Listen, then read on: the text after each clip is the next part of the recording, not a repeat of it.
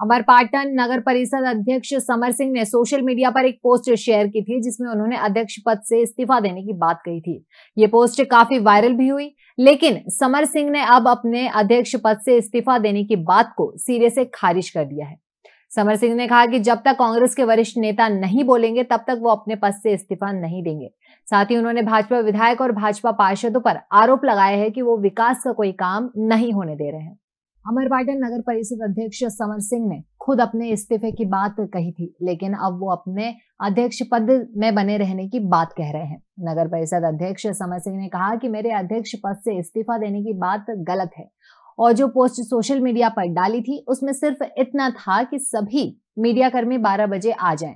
मेरे द्वारा बयान दिया जाएगा। नगर परिषद अध्यक्ष ने कहा कि यहाँ पर ऐसे उपयंत्री का ट्रांसफ़र किया गया है जो हर नगर परिषद में विवादित थे। जिससे यहाँ का विकास न हो सके।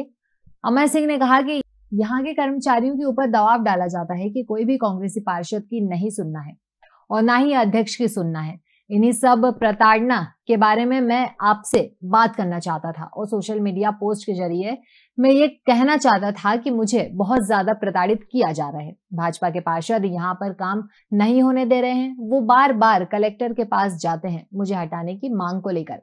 और ना ही यहाँ पर विकास का कोई काम होने दे रहे हैं। नगर परिषद अध्यक्ष ने भाजपा विधायक पर आरोप लगाते हुए कहा कि एक साल से यहाँ विकास का कोई काम नहीं हुआ और इसके जिम्मेदार मंत्री राम खिलावन पटेल हैं, जो सारे विकास के कार्यों को रोक रहे हैं।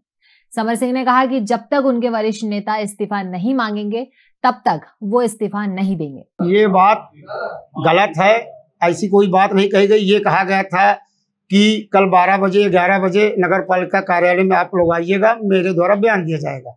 वह जो खबर निकली है, वो गलत निकली है। जो एक साल से काम नहीं हुआ है नगर पंचायत के अंदर, इसका पूरा दायित्व भाजपा विधायक राम कलाम जी पटेल, राज्य मंत्री का है। उनके ही द्वारा दबाव बनाकर यहाँ पूरा काम बंद कराया गया है।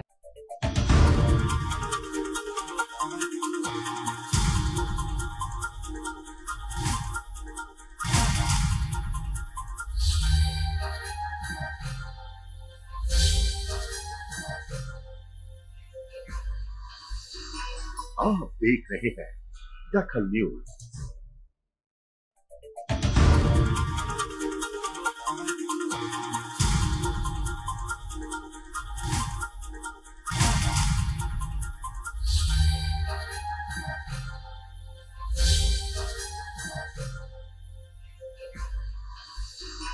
आप देख रहे हैं दखल न्यूज़।